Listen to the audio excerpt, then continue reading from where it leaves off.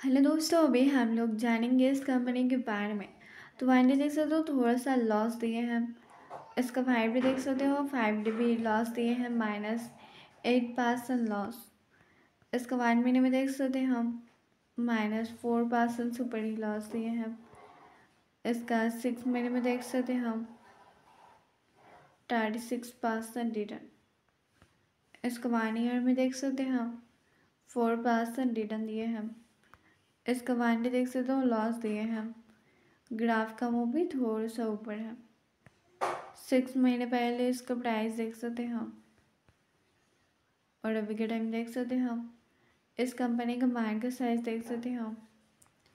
P देख सकते हैं सिक्सटीन परसेंट ओपन देख सकते हैं हम हाईलो देख सकते हैं तो आज के लिए इतना ही। काफ़ी मैं good bless you goodbye दोस्तों।